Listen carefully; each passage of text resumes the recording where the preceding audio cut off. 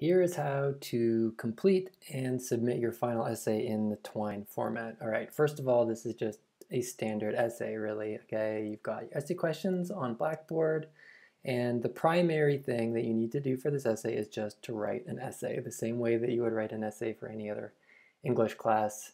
You need to have your introduction, your body paragraphs, your conclusion, and the vast majority of your grade for this is going to be how well do you make your argument, all the standard ways that English essays are graded.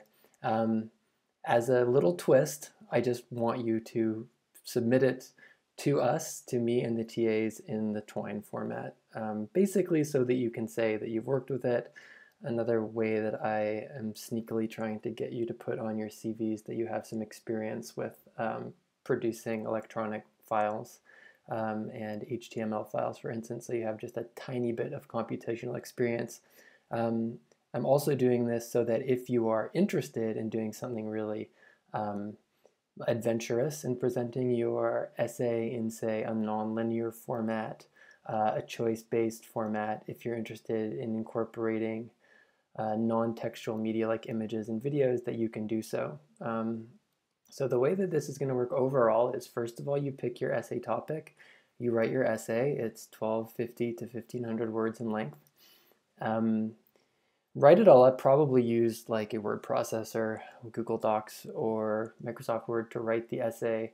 Uh, and then you're going to put it into the Twine format. So there's only, uh, I need you to do three things in Twine. Um, you need to have uh, at least three passages. One passage that is the essay, one passage um, that is your work cited, and then something called a born digital statement, which basically it's short, it's only 250 words or so. Um, and this is where you explain your rationale for why you presented your Twine essay the way that you did. Um, like I said, you can just do basically like an essay in web format. It doesn't need to do anything flashy, um, but you just need to explain that. So how do you intend for your reader to navigate your essay? Like, do you want them to just, for instance, read the whole essay and then click on Works Cited and click on Born Digital Statement? That's totally fine if that's what you want to do. But this is especially useful if you've done something complicated. Like I want readers to go through and make decisions um, and every it'll lead to different possible endings and outcomes. Like we need to know that as graders to understand why you've put this together the way that you did. Um, which Born Digital affordances did you employ? Did you have interactivity, nonlinearity, multimedia? Um, why did you use them? Again, it's totally fine if your answer is, I just have text, um, and I decided to use only text and do nothing uh, interactive, um, nothing nonlinear. And then here, how is your Twine essay different from a traditional paper essay, uh, if at all? Uh, and maybe it won't be. What new things does it allow you to do, if anything? So like I say here, you will not lose marks for building a very simple uh, Twine essay that's just three passages. Just explain why you did it that way. Um, you won't be punished for keeping this pretty simple. All right, so now I'm going to show you in this Twine video, um, I'm going to show you how to do it, how to put your essay into Twine, and I'm going to build in complexity. So first I'm going to show you like the easiest stuff that you could possibly do. Then I'm going to tell you if you want to get a little bit more complicated, do this. And then if you want to get a little bit more complicated, do this. So follow along. You might only need to watch, you know, like a minute of this actual video. So the first thing that you're going to do, like uh, I showed you in class the other day, is you're going to go to twinery.org. That's where Twine lives. So don't bother downloading it for this assignment unless you intend on being pretty hardcore about it. If you're going to do the simple version, just click on use it online. Just reminding me that I could, okay, we're not going to donate, um, we're not going to do anything like this. So when you open this, you're going to see nothing. I've got a little sample game that I made here um, last year, but uh, you're going to see nothing, so you're going to do plus story. Now I have a specific way I want you to save your file name, so you might as well just call it this right now. Um, first say which question, which essay question you did. So if I'm going to do like question one, I'm going to do Q1 and then an underscore and then my last name and then an underscore and then my essay title.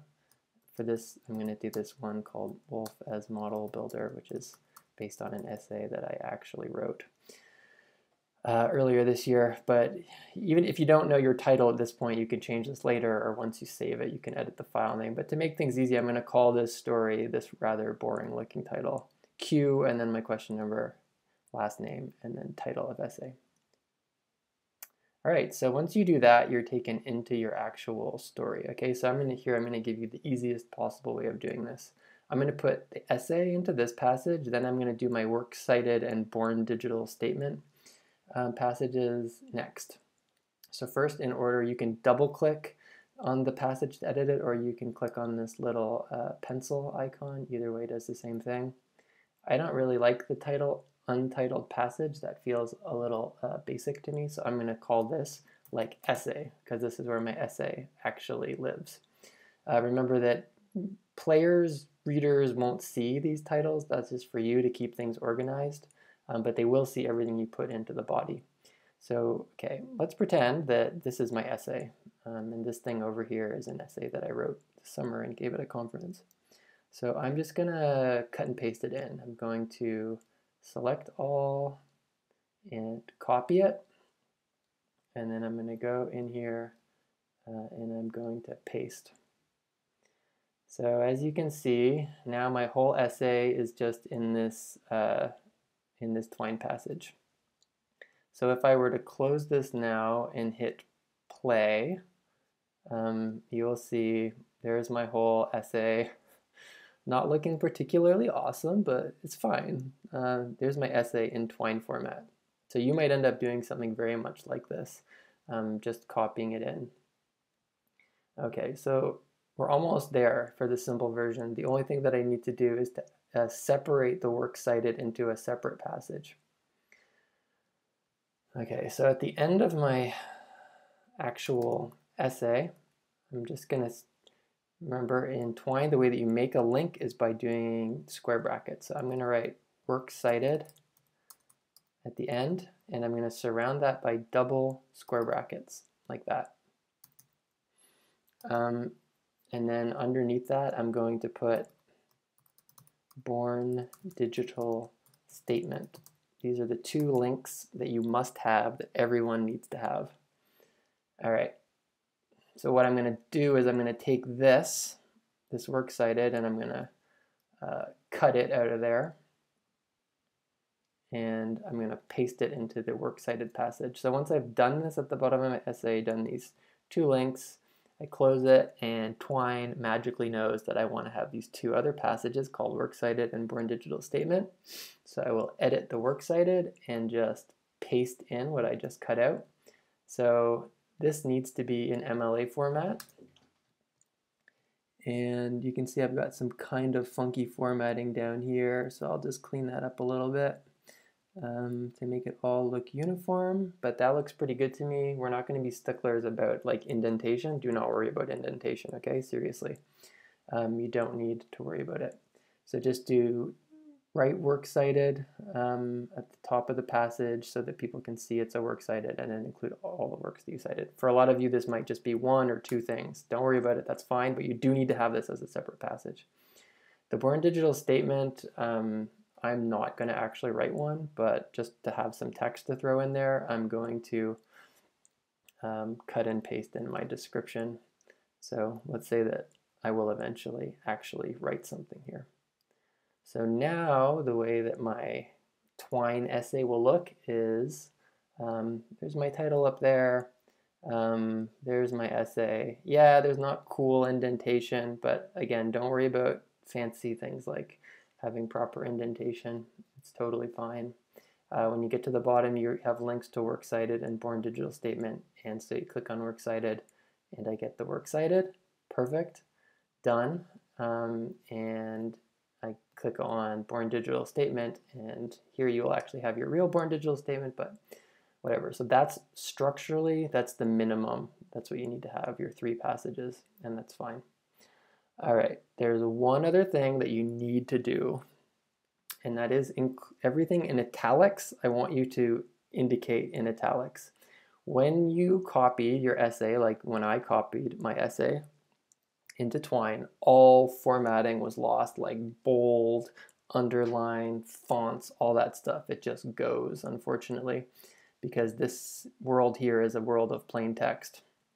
So because in the MLA format, it's important to indicate things like titles in italics, um, I, I, need you to use the HTML tag for italics to surround all titles or anything else in your essay that needs to be indicated in italics. This is just one way that I want you to learn how HTML tags work. Um, so it's just a single tag that you need to do, but throughout your whole essay and your works cited, everywhere that things need to be in italics, go and do the following thing, okay? See like here is the title. I'll just show you one example with this title.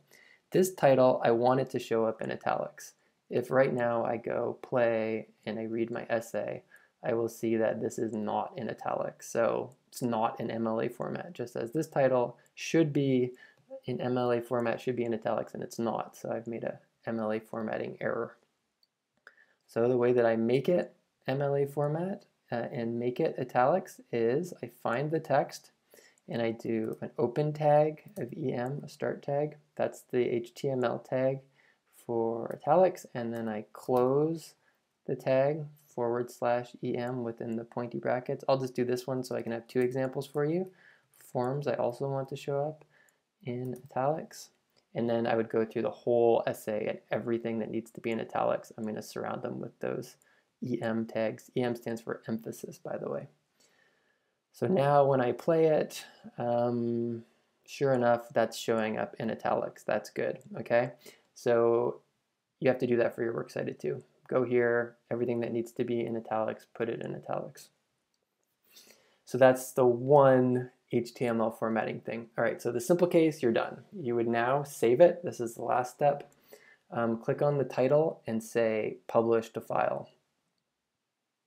You'll see that right now um, Chrome downloaded it um, as an HTML finder. So I'm going to go HTML file. I'm going to go find that in my finder. There it is uh, in downloads.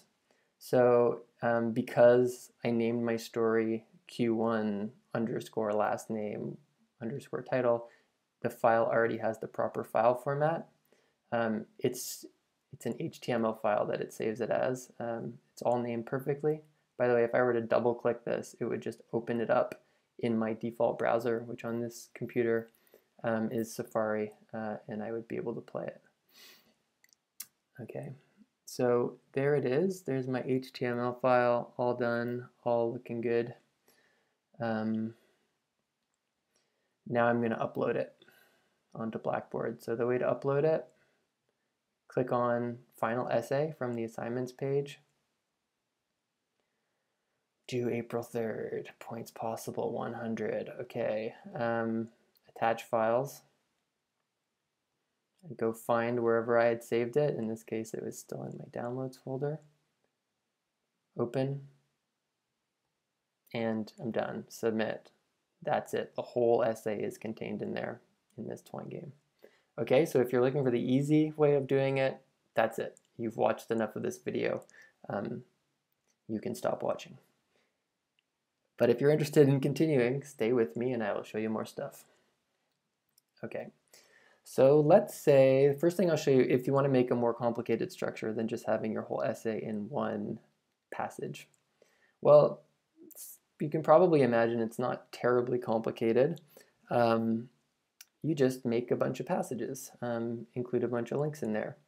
One rule that I have for the assignment is I want your works cited in your Born Digital statement to appear on the very first page. That's just so when we're reading it and marking it, we don't have to like navigate to some weird part of your uh, essay to find that. So I'm going to take these links, uh, I'm going to cut them, and I'm going to put them at the top of my essay.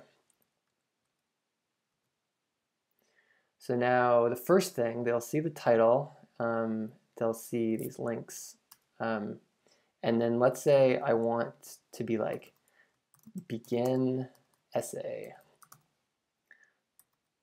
or like begin reading essay. All right, so that way if I, if I were to do this and close it, it would just create um, a new passage called begin reading essay, and then I could, you know, take this, cut it and stick it into begin reading essay and format however I want. If you're staying with me, you might be interested in some advanced tricks, and here's a really useful advanced trick. Um, you can differentiate between what the player sees and clicks on, the text that they see and click on, and then the actual passage name that this link points to by using something called the pipe key. The pipe looks like this. It looks like a straight bar, uh, a straight vertical bar. You'll find it in your keyboard if you hit shift and then the key above enter or return. Um, shift, uh, it's the uh, backslash key. So that's where you'll find the pipe and yeah, it looks like that, a vertical line. So if I write something like passage one, here, uh, now instead of creating a passage called begin reading essay, uh, Twine will create a passage called passage one, um, but the reader will see this to click on. They'll see begin reading essay. So this will make more sense when I now close this. Um, you'll see that yes, Twine has created a new passage called passage one. So what I'm going to do is I'm going to take my essay and I'm going to cut it out of this opening title passage. Cut. And so now my first passage is just going to be kind of like a menu screen. And then I'm going to go and I'm going to paste in the essay into passage one. So now it'll look like this when I play it exciting menu screen. Do I want the works cited? Okay, there they are. Do I want to begin reading essay? All right. And there it is. So let's say that I wanted to do something like every paragraph is its own passage instead of the instead of the whole essay being in one passage. So I could do something like okay, there's the first paragraph ends right there and I might want to include like next is what the user sees and clicks on, and then it'll take you to passage two, something like that. So I'll take all of this now and cut it, close this. So now is a new link called passage two, and I'm going to paste in everything that I just had. And you can see that this procedure will go on and on and on until I've got one passage for each one of my paragraphs. Uh, and here I'm just showing a very linear structure, but you can have options, you know, like instead of just having one choice, instead of proceeding to the next paragraph, I can choose which paragraph I want to see.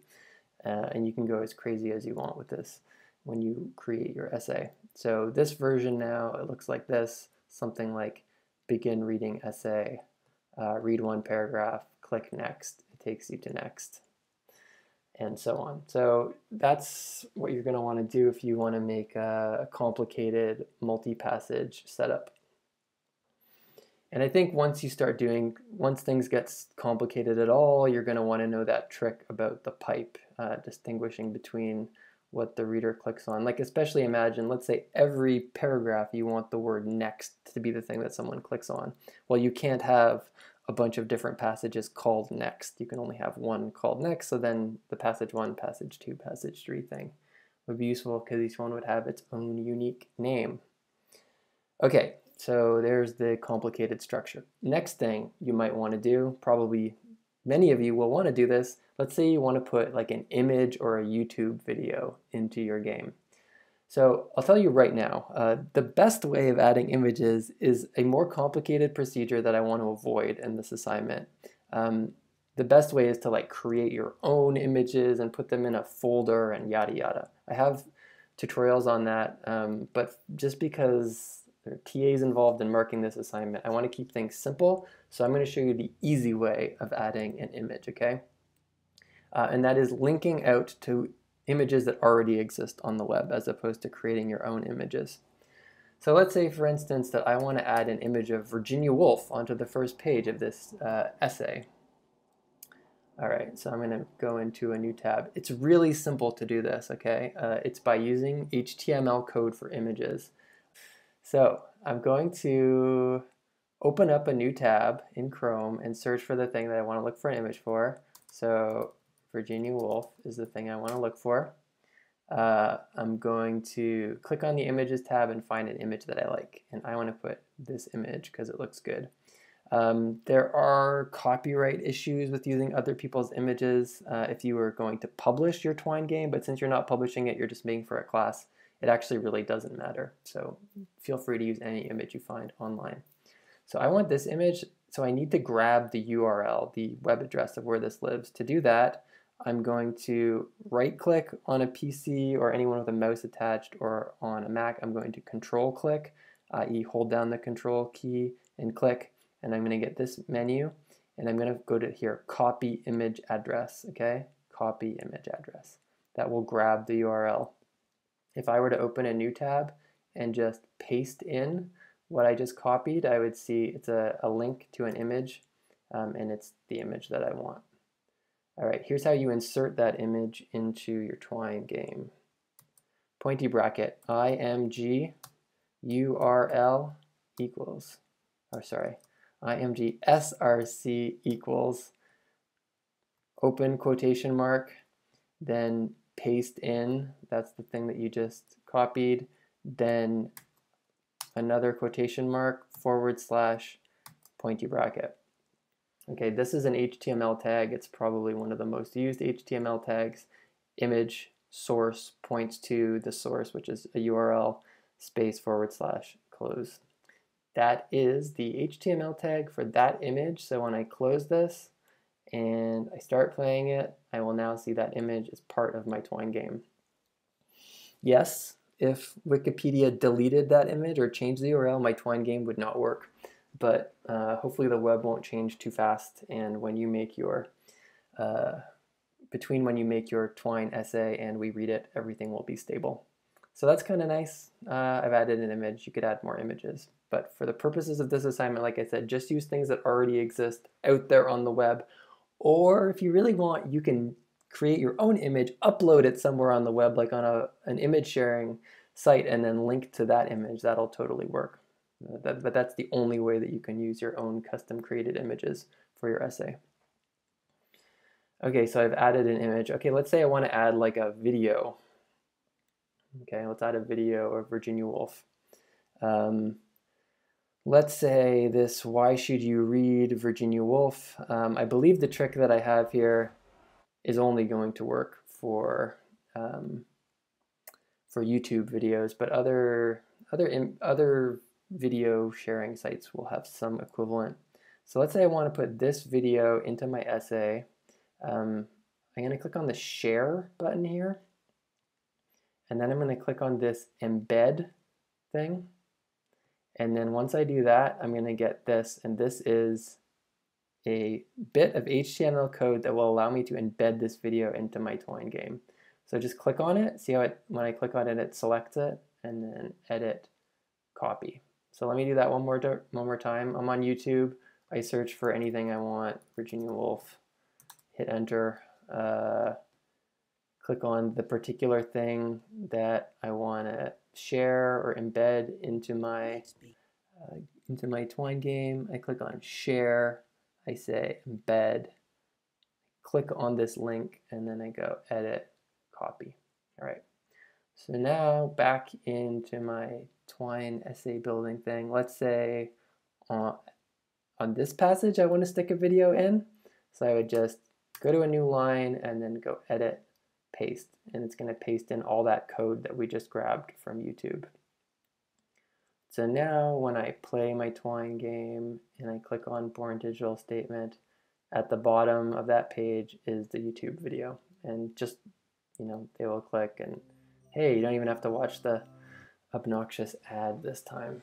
But there it is. So that's all I'm going to show you for here, putting in images and videos. And feel free to include those. Feel no pressure to include them, but if they're going to make your essay better, uh, go right ahead. And then that's something you can write about in your Born Digital statement. I included images uh, and video, something that are difficult to do in paper-based essays. Especially color images. Uh, videos are really quite impossible to include in a paper-based essay. Okay, so by this point, I'm expecting 99% of you to drop out, but that 1% who's really ambitious and really wants to do crazy exciting things, um, all right, come back to the syllabus and go to my beginner's guide to Twine. you are going to be well served by this. Okay, I've made a bunch of videos over the years that tell you how to do relatively advanced stuff. Um, so the first one, passages and links, will all be kind of recap for you, but um, this, making your game look awesome with CSS, will all be new. Um, and it will tell you how to do how to change the look of your game. Um, uh, and it'll go into some detail. So I'm not gonna lay it out here. I'm just basically directing you to this video. But I will say one thing that's very important is if you're going to go this route, you need to change story format. So you need to click change story format here and then you need to go into SugarCube 2.2. You'll notice right away that when you play your game, it has a completely different look. Different uh, story formats have different default views. Um, the thing the first thing that you might want to do is the CSS business, which yeah changes the appearance. So for instance, you'll notice that now by default when we play this game, the background is black. So if you follow my guide, you'll see that you can take some code here and put it into edit story style sheet. I'm now cutting and pasting from the keyboard for you advanced users. You know how to cut and paste.